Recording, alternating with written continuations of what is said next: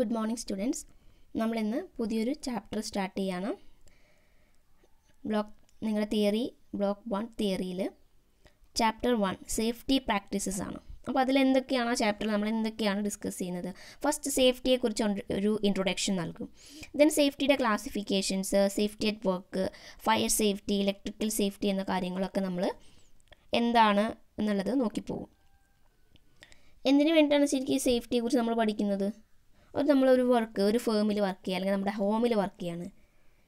With with respect to work we will handle fire electricity അല്ലെ ഇലക്ട്രിസിറ്റിയോ ഫയറോ ഒക്കെ ഉപയോഗിച്ചിട്ടാണ് ചെയ്യുന്നതെങ്കിൽ നമുക്ക് നമ്മുടെ സ്വയം പ്രൊട്ടക്ഷൻ അല്ലെങ്കിൽ നമ്മുടെ സേഫ്റ്റി നോക്കേണ്ടതുണ്ട്. അതിന് ഓരോന്ന് വർക്ക് ചെയ്യുമ്പോഴും fire and fire safety equipments എന്താണെന്ന് അറിയണം. ലോഡാണ് നമ്മൾ ഹെവി ലോഡ്സ് ആണ് യൂസ് ചെയ്യുന്നുണ്ടെങ്കിൽ അതിന്റെ മെത്തേഡ്സ് അത് യൂസ് ചെയ്യാനുള്ള മെത്തേഡ്സ് അറിയണം. അതുമൂലം ഉണ്ടാകുന്ന എഫക്ട്സ് ഹസാർഡ്സ് എന്തെല്ലാമാണെന്ന് അറിയണം. അതിന് വേണ്ട പ്രൊട്ടക്ഷൻ എന്തൊക്കെയാണ് ചെയ്യേണ്ടത്? ഇത്തരം കാര്യങ്ങളാണ് ഈ ചാപ്റ്ററിലുള്ളത് ഓക്കെ അപ്പോൾ ഫസ്റ്റ് നമുക്ക് അതിന്റെ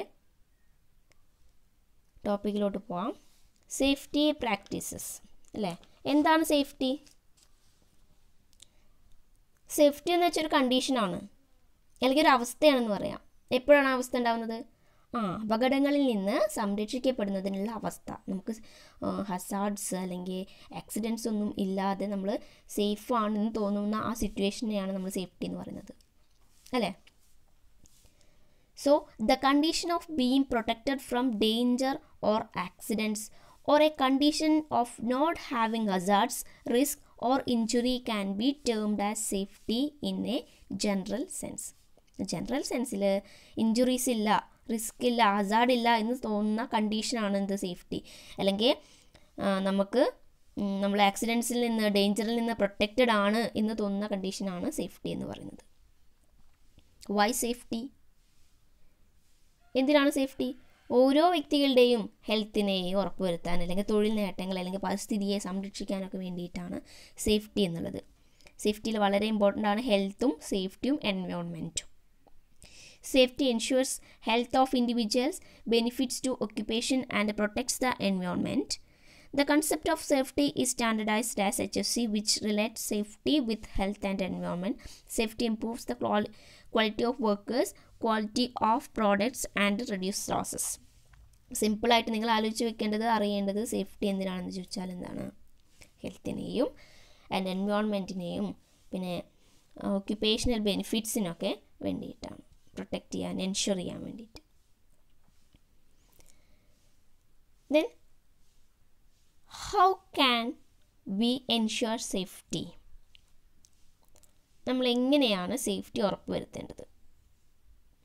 Simply it's through systematic procedure ഒരു സിസ്റ്റമാറ്റിക് പ്രൊസീജിയർ ഉണ്ട്. അതുവഴിയാണ് ഈ സേഫ്റ്റി ഒക്കെ ഉറപ്പുവരുത്തേണ്ടത്. അപ്പോൾ എന്തൊക്കെയാണ് സിസ്റ്റമാറ്റിക് പ്രൊസീജിയർ എന്ന് നോക്കാം. അതിന് മുൻപ് safety can only be ensure by the following systematic procedure laid down for the particular operation safety can be achieved through എന്തൊക്കെയാണ് പെർട്ടിക്കുലർ ആയിട്ടുള്ള സിസ്റ്റമാറ്റിക് പ്രൊസീജിയറുകൾ ഒന്നാമത്തെ നമ്മൾ സേഫ് ആയിട്ടുള്ള വർക്കിംഗ് എൻവയോൺമെന്റ് നൽകണം എന്നതാണ്. നമ്മൾ ഏത് ജോലി ചെയ്യുമ്പോഴും സേഫ് ആയിട്ടുള്ള ചുറ്റുപാട് എൻവയോൺമെന്റ് വേണം ഉണ്ടാവേണ്ടത്. പിന്നെ അവയർനെസ് വേണം. എന്താണ് ചെയ്യുന്നത്? അല്ലെങ്കിൽ സേഫ്റ്റിയെക്കുറിച്ച് ചെയ്യുമ്പോൾ ഉണ്ടാവേണ്ട സേഫ്റ്റിയെക്കുറിച്ചുള്ള ഒരു അവബോധം അവയർനെസ് അത് വേണം. പിന്നെ അപകടങ്ങൾ മുൻകൊണ്ട് വേണം കണ്ടുകൊണ്ട് വേണം പ്രവർത്തിക്കാൻ. ഓക്കെ അതായത് എ സേഫ് വർക്കിംഗ് എൻവയോൺമെന്റ് മസ്റ്റാണ് then a awareness of person involved about safety ആ പേഴ്സന് അവയർനെസ് ഉണ്ടായിരിക്കണം. ഫോർസൈറ്റ് ഓഫ് പോസിബിൾ ഹസാർഡ് അതുമൂലം ഉണ്ടാകുന്ന ഹസാർഡിനെ കുറിച്ച് ഫോർസൈറ്റ് അല്ല മുൻക അപ മുൻകണ്ടുകൊണ്ട് വേണം പ്രവർത്തിക്കാൻ അപകടങ്ങൾ. ഓക്കെ ഇനി ക്ലാസിഫിക്കേഷൻ ഓഫ് സേഫ്റ്റി ഇതിൽ മൂന്ന് തരത്തിലുള്ള ക്ലാസിഫിക്കേഷനാണ് ഉള്ളത്. Safety at work fire safety electrical safety ആദ്യം നമ്മൾ സേഫ്റ്റി അറ്റ് വർക്ക് വർക്ക് സ്ഥലത്ത് ജോലി ചെയ്യുമ്പോൾ ഉണ്ടാവേണ്ട എന്തൊക്കെ സേഫ്റ്റി ആണെന്നുള്ളതാണ് ഫസ്റ്റ് നമ്മൾ പഠിക്കാൻ പോകുന്നത്. അതിന് മുൻപ് നിങ്ങൾ ആ ചിത്രത്തിൽ നോക്കൂ. ഒരു വർക്ക് ചെയ്യാൻ പോകുന്നതിന് മുമ്പ് ഒരാൾ സേഫ്റ്റിക്ക് വേണ്ടിയിട്ട് എന്തൊക്കെയാണ് സേഫ് വർക്കിന് വേണ്ടി എന്തൊക്കെയാണ് ധരിക്കേണ്ടത്? Clean and safe at work അല്ലേ? അല്ല? എന്തൊക്കെ ചെക്ക് ലിസ്റ്റിൽ നോക്കൂ. എന്തൊക്കെയാണ് കാര്യങ്ങൾ പറഞ്ഞിട്ടുള്ളത്? നിങ്ങൾക്ക് ആലോചിച്ചാൽ തന്നെ കിട്ടും എന്താണ്? നമ്മൾ ഗ്ലൗ ധരിക്കണം. ഹാൻഡിന് ഹാൻഡ് പ്രൊട്ടക്ഷന് വേണ്ടിയിട്ട്. ലെഗ് പ്രൊട്ടക്ഷന് വേണ്ടിയിട്ട് ഷൂ വേണം. അല്ലേ? പിന്നെ കോട്ട് പിന്നെ എന്ത് ചെയ്യണം ഹെഡിനെ പ്രൊട്ടക്റ്റ് ചെയ്യാൻ വേണ്ടി ഹെഡ് ക്യാപ്പ് വേണം. അപ്പോൾ ഇത്തരത്തിലുള്ള പിന്നെ മാസ്ക് ഇത്തരത്തിലുള്ള എല്ലാ സേഫ്റ്റി ആയിട്ടുള്ള പ്രൊട്ടക്ഷന് വേണ്ടി ഉള്ള എക്യുപ്മെന്റ്സ് അല്ലെങ്കിൽ ടൂൾസൊക്കെ നമ്മൾ യൂസ് ചെയ്യണം. അപ്പോൾ ആദ്യത്തെ പോയിന്റ് നമ്മൾ പറഞ്ഞു സേഫ്റ്റി അറ്റ് വർക്ക് അല്ലേ? ഈ വർക്ക് എന്ന് പറയുന്നത് ജോലി സ്ഥലത്താവാം അല്ലെങ്കിൽ നമ്മുടെ ഹോമിലാവാം അപ്പോൾ എന്ത് ചെയ്യുവാണെങ്കിലും ഒരു ലിറ്റിൽ കെയർ ഉണ്ടെങ്കിൽ നമുക്ക് ഒരുപാട് എഫേർട്ടും മണിയും പിന്നെ നമ്മുടെ ലൈഫ് തന്നെ സേവ് ചെയ്യാനും പറ്റും. Okay while doing a work whether at home or at work place follow with the safe procedure can avoid majority of accidents a little care while doing a work can save a lot of effort money and often our valuable life. ഒരു little care തന്നെ ഇതൊക്കെ നമുക്ക് save ചെയ്യാൻ പറ്റും. നമ്മുടെ valuable ലൈഫിനെ save ചെയ്യാൻ പറ്റും. ഒരു കോട്ട് കൊടുത്തിരിക്കുന്നത് കണ്ടോ? Accidents do not just happen they are caused ആക്സിഡന്റുകൾ അല്ലെങ്കിൽ അപകടങ്ങൾ വെറുതെ ഉണ്ടാവുന്നതല്ല ഉണ്ടാക്കുന്നത് തന്നെയാണ്. അല്ലേ? ഓക്കെ ഇനി നമുക്ക് എങ്ങനെയാണ് വർക്ക് അല്ലെങ്കിൽ ഇനി എങ്ങനത്തെ വർക്ക് ചെയ്യുമ്പോൾ ആക്സിഡന്റ്സ് ഉണ്ടാവുന്നതിന്റെ കാരണങ്ങൾ എന്തൊക്കെയാണ് നോക്കാം. Most of the accidents are caused by എങ്ങനെയാണ് മോസ്റ്റ് ഓഫ് ആക്സിഡന്റ്സ് ഉണ്ടാവുന്നത്?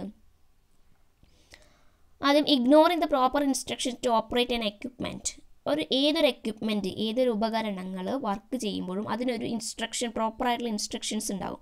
ഇന്ന രീതിയിലാണത് ഓപ്പറേറ്റ് ചെയ്യേണ്ടതെന്ന്. അതൊന്നും ശ്രദ്ധിക്കാണ്ട് അതൊക്കെ ഇഗ്നോർ ചെയ്തുകൊണ്ട് അതൊക്കെ അവഗണിച്ചുകൊണ്ട് നമ്മളേതായ രീതിയിൽ അങ്ങ് ചെയ്യുമ്പോഴാണ് പല ആക്സിഡൻസ് ഉണ്ടാകുന്നത് അതുപോലെ തന്നെ not use using safety guards അപ്പോൾ നേരത്തെ പറഞ്ഞ പോലെ ഹാൻഡ് പ്രൊട്ടക്ഷനും ഷൂവും പിന്നെ ഗ്ലൗ പിന്നെ ഹെഡ് ക്യാപ്പ് കോട്ട് മാസ്ക് ഇങ്ങനത്തെ പ്രൊട്ടക്ഷൻ ആയിട്ടുള്ള സേഫ്റ്റി ഗാർഡുകൾ യൂസ് ചെയ്യാതിരിക്കുന്നതിന്റെ ഫലമായിട്ട് ആക്സിഡന്റ്സ് ഉണ്ടാവാം ഇഞ്ചുറീസ് ഉണ്ടാവാം. Using faulty or improper tools and equipments third point നോക്കൂ ഇംപ്രോപ്പർ ആയിട്ടുള്ള ടൂൾസ് എക്യുപ്മെന്റ്സ് എന്നിവ ഉപയോഗിക്കുമ്പോൾ ഫോൾട്ടി ആയിട്ടുള്ളത്. അല്ലേ? കറക്റ്റായിട്ട് വർക്ക് ചെയ്യാത്തത് അല്ലെങ്കിൽ തകരാറിലായിട്ടുള്ള എക്യുപ്മെന്റ്സും ടൂൾസൊക്കെ ഉപയോഗിക്കുന്നതിന്റെ ഫലമായിട്ടും ഇഞ്ചുറീസ് ആക്സിഡന്റ്സ് ഉണ്ടാവാം.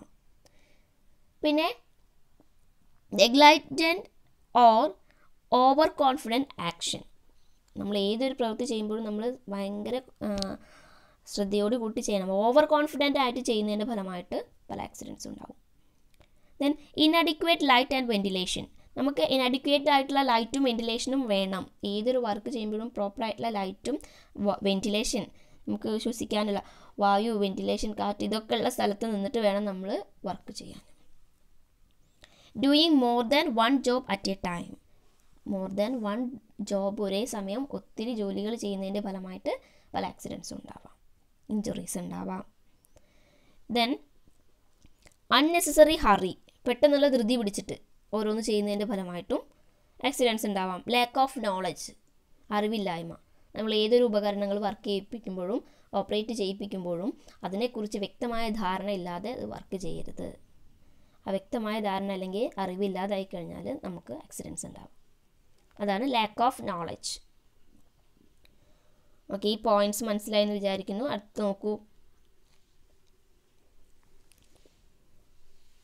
ഇനി ചില സുരക്ഷാ മുൻകരുതലുകൾ നോക്കാം. അതായത് ഒരു വർക്ക് ചെയ്യുമ്പോൾ എടുക്കേണ്ട സേഫ്റ്റി പ്രിക്കോഷൻസ് പ്രിക്കോഷൻസ് മുൻകരുതലുകൾ. സേഫ്റ്റി പ്രിക്കോഷൻസ് എന്തൊക്കെയാണെന്ന് നോക്കാം. ആദ്യമായിട്ട് lifting and handling of loads manually നമ്മൾ മാനുവലി ഒരു ലോഡ് ലിഫ്റ്റ് ചെയ്യുകയാണ് അല്ലെങ്കിൽ ഹാൻഡിൽ ചെയ്യുമ്പോൾ എന്തൊക്കെയാണ് ശ്രദ്ധിക്കേണ്ടത്? അതിന് വേണ്ട പോസിബിൾ ആക്സിഡന്റ്സ് എങ്ങനെയൊക്കെയാണ് ഉണ്ടാകുന്നത് അതിനെങ്ങനെയാണ് ആക്സിഡന്റ്സ് ഉണ്ടാകുന്നത് അതിന്റെ പ്രിക്കോഷൻ എന്തൊക്കെയാണെന്നാണ് ഇനി പറയുന്നത്.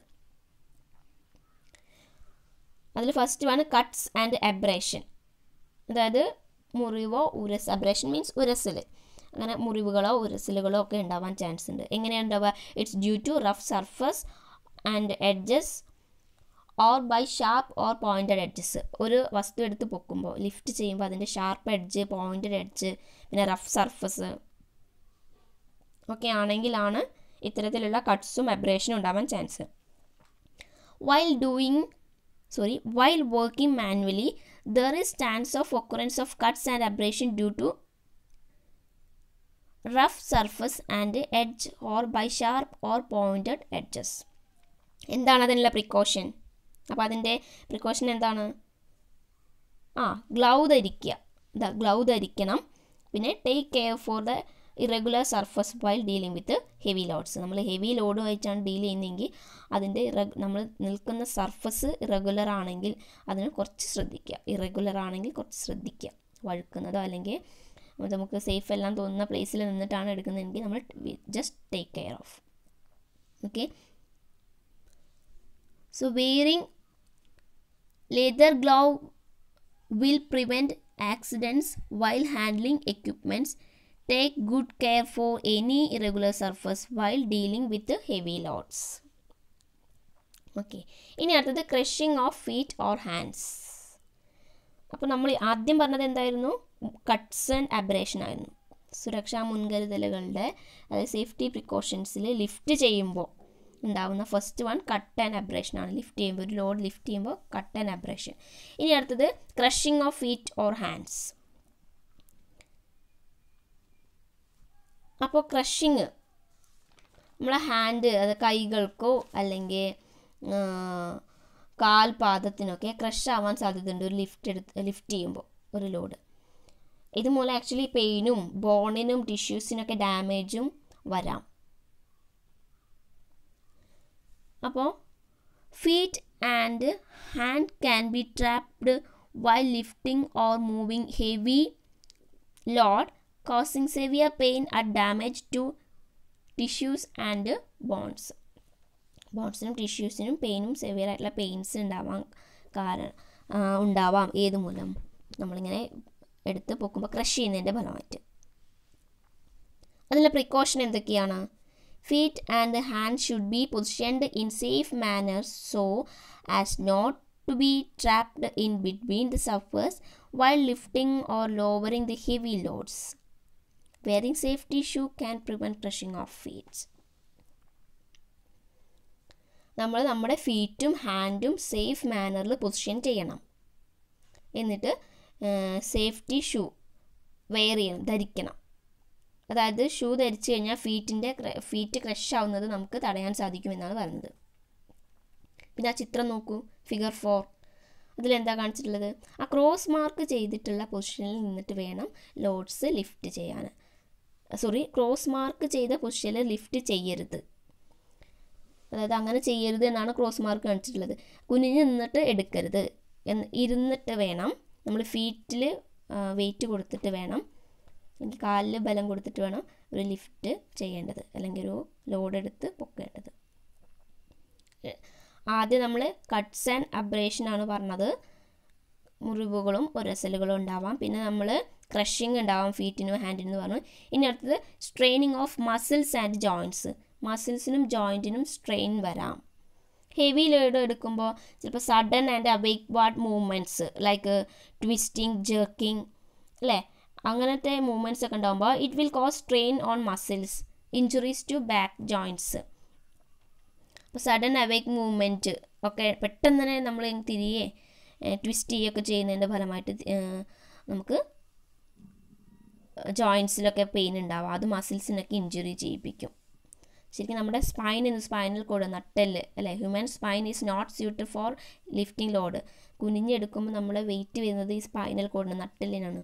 ശരിക്കും നമ്മുടെ നട്ടെല്ലിന് ലിഫ്റ്റ് ചെയ്യാൻ ലോഡിനെ ലിഫ്റ്റ് ചെയ്യാൻ സ്യൂട്ടബിൾ അല്ല ആക്ച്വലി നമ്മൾ കാലിന് വേണം അതിന്റെ ലോഡ്സ് കൊടുക്കാൻ. അതായത് ഇരുന്ന് എടുത്തിട്ട് നിവർ നിവർന്ന് നിൽക്കുകയാണ് വേണ്ടത്.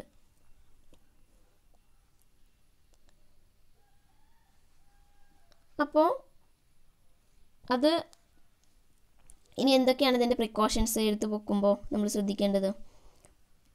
Make clear idea about what to do lift what to lift where to lift how to lift എന്താണ് ലിഫ്റ്റ് ചെയ്യേണ്ടത്? എവിടേക്കാണ് ലിഫ്റ്റ് ചെയ്യേണ്ടത്?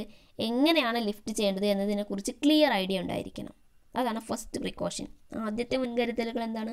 എന്താണ് ചെയ്യേണ്ടത്? എവിടേക്കാണ് ചെയ്യേണ്ടത് മാറ്റി വെക്കേണ്ടത് അല്ലെങ്കിൽ പിന്നെ എങ്ങനെയാണ് ചെയ്യേണ്ടത് എന്നുള്ള കാര്യത്തെക്കുറിച്ച് വ്യക്തമായ ധാരണ ഉണ്ടായിരിക്കണം. Make sure that the route is clear for the movement മൂവ്മെന്റിന് വേണ്ട റൂട്ട് നമ്മൾ പോവേണ്ട വഴി അത് അത്രയും ക്ലിയർ ആണോ എന്ന് ഉറപ്പുവരുത്തണം. ഇവിടെ വേറെ ഒബ്സ്റ്റക്കളൊന്നും ഇല്ലല്ലോ തടസ്സങ്ങളൊന്നും ഇല്ലല്ലോ എന്ന് ഉറപ്പുവരുത്തണം. പിന്നെ ensure proper holding for load നന്നായിട്ട് പിടിച്ചിട്ടില്ലേ ഹോൾഡ് ചെയ്തിട്ടില്ലേ വിഴാൻ പാടില്ല. അപ്പോൾ നന്നായിട്ട് ഹോൾഡ് ചെയ്തിട്ടില്ല എന്നുള്ളത് ഉറപ്പ് വരുത്തണം. ഇത്രയും കാര്യങ്ങളാണ് അതിന്റെ പ്രിക്കോഷൻ ഇനി സേഫ് ലിഫ്റ്റിങ് സേഫ് ലിഫ്റ്റിങ്ങിൽ എന്തൊക്കെയാണ്? നമ്മൾ സേഫ് ലിഫ്റ്റിംഗ് എങ്ങനെ ചെയ്യാം എന്നാണ് പറയുന്നത്. ഈ പിക്ചറിൽ നോക്കൂ. ഈ പൊസിഷനിൽ ആണ് നമ്മൾ ലോഡ് ലിഫ്റ്റ് ചെയ്യേണ്ടത്. Position in a comfortable way with legs slightly apart leg slightly എപ്പാർട്ടായി ചെയ്തുകൊണ്ട് കംഫർട്ടബിൾ ആയിട്ട് പൊസിഷൻ ചെയ്യുക നിൽക്കണം. എന്നിട്ട് നമ്മൾ ഇരുന്നിട്ട് വേണം അത് എടുക്കണമെങ്കിൽ. Then bent knee such that load is held close to the body മുട്ട് ബെൻഡ് ചെയ്തുകൊണ്ട് നമ്മളെ ബോഡിയുടെ അടുത്തേക്ക് ആ ലോഡ് ഹെൽഡ് ചെയ്യണം. Hold the load in grip in a grip and keep the back straighten in most vertical position നമ്മൾ load hold ചെയ്തുകൊണ്ട് പിടിച്ചുകൊണ്ട് ഒരു ഗ്രിപ്പിൽ ഒരു ഗ്രിപ്പിൽ പിടിച്ചുകൊണ്ട് എന്താണ് ബാക്ക് സ്ട്രെയിറ്റൻ ആവാൻ വെർട്ടിക്കൽ പൊസിഷനിൽ വരാൻ വേണ്ടിയിട്ട് എണീക്കണം. Gradually apply force to straighten and legs. Straighten the leg so that strain is completely taken by the powerful thing muscle. അതായത് നമ്മൾ എന്ത് ചെയ്യണം? പതുക്കെ ഫോഴ്സ് അപ്ലൈ ചെയ്തുകൊണ്ട് നമ്മുടെ കാലിലേക്ക് ഫോഴ്സ് പതുക്കെ അപ്ലൈ ചെയ്തുകൊണ്ട് വേണം എണീക്കാൻ. എന്നിട്ട് നമ്മളെ സ്ട്രെയിറ്റ് ആയിട്ട് നിൽക്കുക. കംപ്ലീറ്റ്ലി സ്ട്രെയിൻ നമ്മൾ എവിടേക്ക് കൊടുക്കണം? കാലിന്റെ നമ്മളെ മസിൽസിൽ തൈയുടെ മസിൽസിന്. തുടയിലേക്ക് ആണ് ഫുൾ സ്ട്രെയിൻ വരിക. ഇങ്ങനത്തെ രീതിയിലാണ് നമ്മളൊരു ലോഡ് ലിഫ്റ്റ് ചെയ്യേണ്ടത്. ഇതാണ് സേഫ് മെത്തേഡ്. ഓക്കെ. ഇനി നമ്മളിപ്പോൾ ലിഫ്റ്റിംഗ് ലോഡാണ് പറഞ്ഞത്. ഒരു ലോഡ് ലിഫ്റ്റ് ചെയ്യുമ്പോൾ എന്തൊക്കെയാണ് ശ്രദ്ധിക്കേണ്ടതെന്നാണ് പറഞ്ഞത്. ഇനി ഒരു ലോഡ് നമ്മൾ മൂവ് ചെയ്യിക്കുകയാണ്. അപ്പോൾ എന്തെല്ലാമാണ് ശ്രദ്ധിക്കേണ്ടത്? അപ്പോൾ ആദ്യം നമ്മൾ പറഞ്ഞത് എന്തായിരുന്നു? സേഫ് പ്രിക്കോഷൻസ് ഒരു ലോഡ് നമ്മൾ ലിഫ്റ്റ് ചെയ്യുമ്പോഴുള്ള ആക്സിഡൻസ് എങ്ങനെ ഉണ്ടാവാം അതിന്റെ പ്രിക്കോഷൻ എന്തൊക്കെയാണെന്ന് പറഞ്ഞു. ഇനി നമ്മൾ ലോഡ് മൂവ് ചെയ്യിക്കുമ്പോൾ എങ്ങനെയൊക്കെയാണെന്ന് നോക്കാം. We can move heavy loads using crane winches rollers and other moving platforms. മറ്റ് മൂവിങ് പ്ലാറ്റ്ഫോംസ് ക്രെയിന് റോളേഴ്സ് പിന്നെ വിഞ്ചസ് ഒക്കെ ഉപയോഗിച്ചിട്ട് നമുക്ക് മൂവ് ചെയ്യിക്കാം. നിങ്ങൾ കണ്ടിട്ടുണ്ടാവും ക്രെയിനൊക്കെ ഉപയോഗിച്ച് ഹെവി ലോഡുകൾ ഒരു സ്ഥലത്ത് നിന്ന് വേറൊരു സ്ഥലത്തേക്ക് മൂവ് ചെയ്യിപ്പിക്കുന്നത് അല്ലേ? അപ്പോൾ അതിൽ ആദ്യമായിട്ട് യൂസിങ് ക്രെയിൻ ആൻഡ് സ്ലിങ് തന്നെയാണ് നമുക്ക് പറയാനുള്ളത്. സ്ലിങ്സ് തന്നെയാണ് പഠി പഠി പഠിക്കാനുള്ളത്. എന്താണ് സ്ലിങ്സ് ബെൽറ്റുകൾ അല്ലെങ്കിൽ കവണകൾ എന്നൊക്കെ പറയും. നമ്മളൊരു ലോഡ് എടുക്കാൻ വേണ്ടിയിട്ട് ഫിക്സ് ചെയ്യുന്ന ബെൽറ്റ് പോലെയുള്ള വലിയ ലാർജ് ആയിട്ടുള്ള ബെൽറ്റിനെയാണ് സ്ലിങ്സ് എന്ന് പറയുന്നത്. ആദ്യം നമ്മൾ ഇത് ക്രെയിനോ അല്ലെങ്കിൽ സ്ലിങ്ങോ ക്രെയിനും സ്ലിങ് സ്ലിങ്ങോ ഉപയോഗിച്ചിട്ട് മൂവ് ചെയ്യിക്കുമ്പോൾ ഒരു ലോഡ് മൂവ് ചെയ്യിക്കുമ്പോൾ ആദ്യം എന്താ ചെയ്യുക വെച്ചാൽ ഈ സ്ലിങ്സ് ലോഡുമായിട്ട് ടൈ ചെയ്യും. ഇട്ട് വയ്ക്കും ദെൻ അതായത് ഈ ഉപയോഗിക്കുന്ന സ്ലിങ്ങിന് കട്ട് വെയർ കൊറോഷൻ അബ്രേഷൻ ഇങ്ങനെ ഇതൊന്നും ഉണ്ടാവാനും പാടില്ല. ബെൽറ്റ് മുറിഞ്ഞതോ പൊട്ടിയതോ തേയ്മാനം സംഭവിച്ചതോ ഒന്നും ആവാൻ പാടില്ല എന്നാണ് പറയുന്നത് സിമ്പിളായിട്ട് okay slings are tied to the load so as to distribute the weight of the load evenly the slings used should not have cuts or abrasion wear or corrosion slings tie ചെയ്യുക ലോഡുമായിട്ട് പിന്നെ എബ്രേഷനോ കൊറോഷനോ കട്ടോ ഒന്നും ഉണ്ടാവാൻ പാടില്ല ആ സ്ലിങ്ങിന് okay then അതിന്റെ steps എന്തൊക്കെയാണ്? ഫസ്റ്റ് സ്റ്റെപ്പ് എന്ന് പറയുന്നത് use the sling in near to vertical position vertical പൊസിഷനിൽ എന്ത് ചെയ്യുക യൂസ് ചെയ്യുക use the sling near to vertical position while lifting care to avoid crushing of objects of personnel in between loads and other objects. ആ സമയത്ത് അതായത് നമ്മൾ crushing ലോഡുമായിട്ടുള്ള crushing ഒക്കെ അവോയ്ഡ് ചെയ്യണം. മറ്റ് ഒബ്ജക്റ്റുമായിട്ടുള്ള ക്രഷിങ് നമ്മൾ അവോയ്ഡ് ചെയ്യണം. Okay should remove the obstacles obstacles in the lifting way should be removed അതാണ് അടുത്ത പോയിന്റ് ലാസ്റ്റ് എന്താണ്? Warning about the warning about standing right below the lifted loads lift ചെയ്ത ലോഡിന്റെ ജസ്റ്റ് ബിലോ ആരും നിൽക്കാൻ പാടില്ല. അതിനൊരു വാർണിംഗ് കൊടുക്കണം. ഇത്രയും കാര്യങ്ങളാണ്.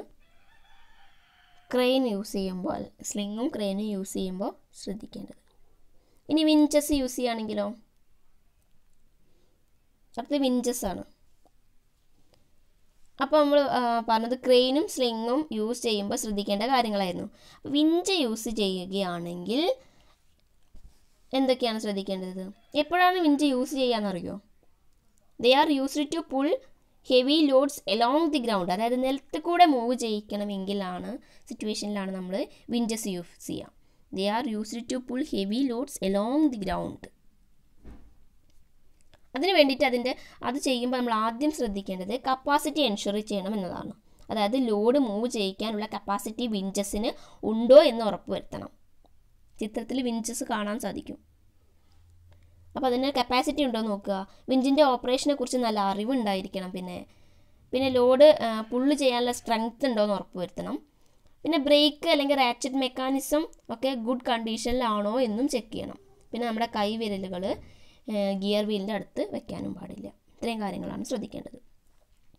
So let's go through this ensure adequate capacity for winches to move the load capacity ഉണ്ടോ എന്ന് എൻഷുർ ചെയ്യണം. Then ensure strength of winch is suitable to pull load load pull ചെയ്യാനുള്ള സ്ട്രെങ്ത് എൻഷുർ ചെയ്യണം gain sufficient knowledge about the operation of winch വിഞ്ചിന്റെ ഓപ്പറേഷനെ കുറിച്ച് sufficient knowledge നേടിയിരിക്കണം. Ascertain that the brake or ratchet mechanism is in good condition അതിൽ brake മെ ratchet mechanism അല്ലെങ്കിൽ ബ്രേക്കൊക്കെ good കണ്ടീഷനിലാണ് നല്ല workable ആണ് എന്ന് നമ്മൾ ഉറപ്പുവരുത്തുക. അതുപോലെ keep the hands and fingers away from the gear wheel gear വീലിൽ നിന്ന് അത് അടുത്ത് വെക്കാതെ സൂക്ഷിക്കുക. കീപ് എവേ ഓക്കെ ഇനി നമ്മൾ വിഞ്ച് യൂസ് ചെയ്യുന്ന കാര്യം പറഞ്ഞു. ഇനി മൂവിങ് പ്ലാറ്റ്ഫോമാണ് ഉപയോഗിക്കുന്നത് എന്ന് വിചാരിക്കുക. അപ്പോൾ മൂവിങ് പ്ലാറ്റ്ഫോം ആണെങ്കിൽ നമ്മൾ എന്താണ് ചെയ്യേണ്ടത്? ഇവ ഉപയോഗിക്കുന്നത് വലിയ എക്യുപ്മെന്റ്സ് ഒക്കെ മൂവ് ചെയ്യിക്കാനാണ്.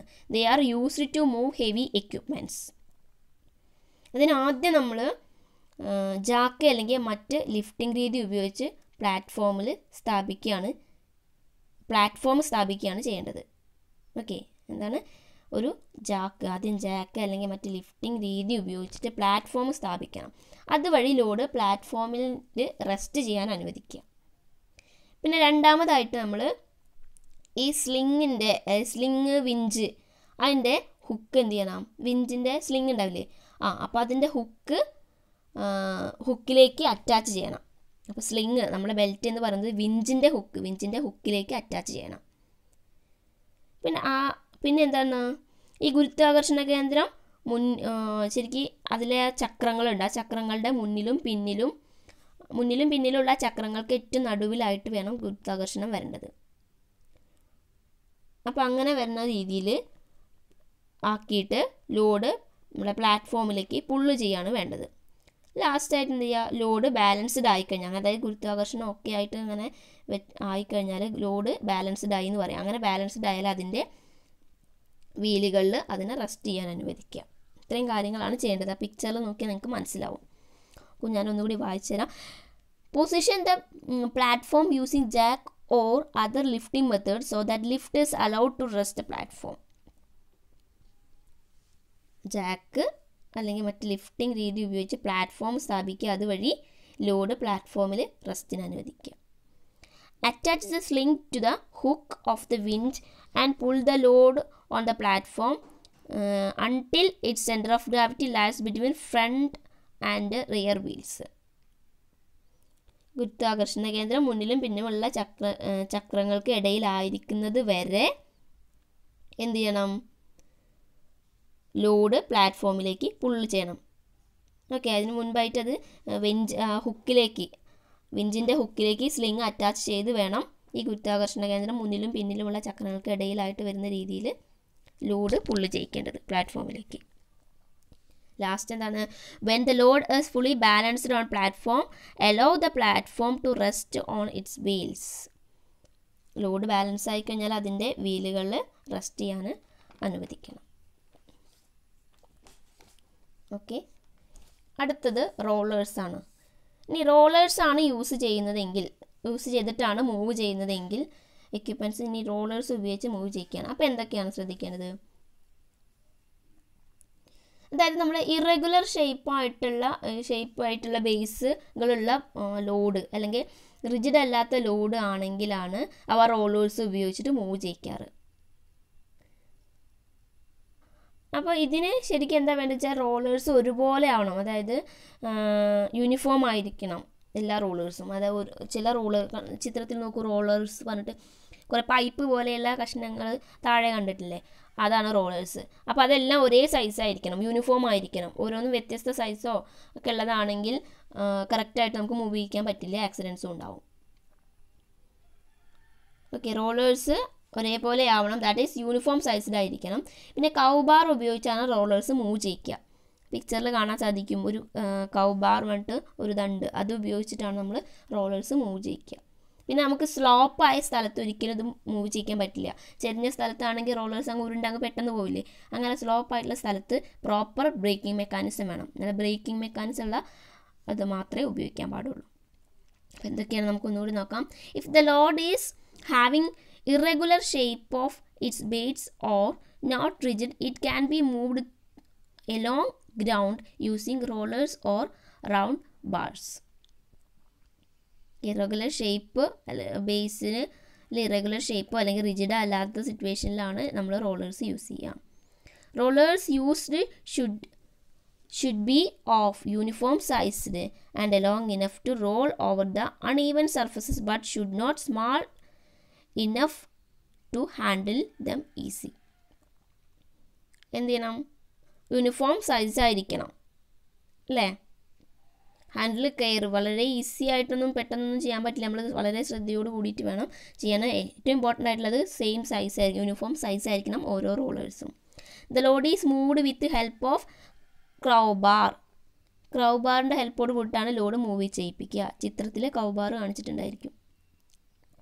സെക്കൻഡ് പിക്ചറിലാണ് കൊടുത്തിട്ടുള്ളത് crowbar okay then slope should not be cover using roller with proper braking mechanism braking mechanism ഇല്ലാണ്ട് എന്ത് ചെയ്യരുത്?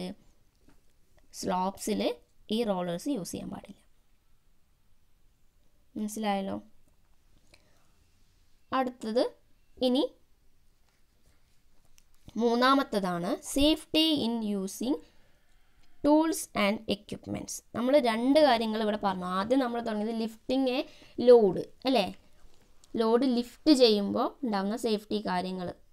പിന്നെ moving a load load move ചെയ്യിക്കുമ്പോൾ ഉണ്ടാ ഉണ്ടാകുന്ന സേഫ്റ്റി കാര്യങ്ങൾ. അതിന്റെ പ്രിക്കോഷൻസും സേഫ്റ്റിയും ഇനി അടുത്തത് safety in using tools and equipments ടൂൾസും എക്യുപ്മെന്റ്സും യൂസ് ചെയ്യുമ്പോൾ ഉള്ള സേഫ്റ്റിയാണ് മൂന്നാമതായിട്ട് പറയുന്നത്. അപ്പോൾ ഹോമിൽ വീട്ടിലായാലും ഹോമിലായാലും വർക്ക് പ്ലേസിലായാലും ഒത്തിരി ലോഡ്സും എക്യുപ്മെന്റ് ടൂൾസും എക്യുപ്മെന്റ്സും ഒക്കെ നാം ഉപയോഗിക്കുന്നതാണ് അല്ലേ? എന്തിനു വേണ്ടിയിട്ടാണ് ഇത് ഉപയോഗിക്കുന്നത്? ടു ഈസിയർ ദി വർക്ക് അല്ലെങ്കിൽ ഫാസ്റ്റർ അല്ലെങ്കിൽ safer the work work safe ആയിരിക്കാൻ ഈസി ആയിരിക്കാൻ ഫാസ്റ്റർ ആയിരിക്കാൻ ടൈം ലാഗ് ഇല്ലാണ്ട് ചെയ്യാനൊക്കെ വേണ്ടിയിട്ടാണ് നമ്മൾ ടൂൾസും എക്യുപ്മെന്റ്സും ഉപയോഗിക്കുന്നത്. ചില ടൂൾസ് അല്ലെങ്കിൽ എക്യുപ്മെന്റ്സ് ഒക്കെ ഉപയോഗിക്കുമ്പോൾ അൺഎക്സ്പെക്റ്റഡ് ആയിട്ടുള്ള ചില റിസൾട്ട്സ് ഉണ്ടാവും അല്ലേ? അത് അവോയ്ഡ് ചെയ്യാൻ വേണ്ടിയിട്ടാണ് നമ്മൾ ചില കാര്യങ്ങൾ ശ്രദ്ധിക്കേണ്ടത്. ആ ശ്രദ്ധിക്കേണ്ട കാര്യങ്ങളാണ് ഇനി പറയുന്നത്. Okay most of the work at home and work place cannot be done with the help of necessary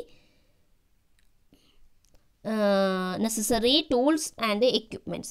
Tools equipments ഉണ്ടാവാതെ ചില വർക്ക് ചെയ്യാൻ പറ്റില്ല. Using tools and equipments makes work easier safer and faster tools ഉപയോഗിക്കുകയാണെങ്കിൽ equipments tools ഉപയോഗിക്കുകയാണെങ്കിൽ work easier ആവാം safer ആവാം faster ആവാം.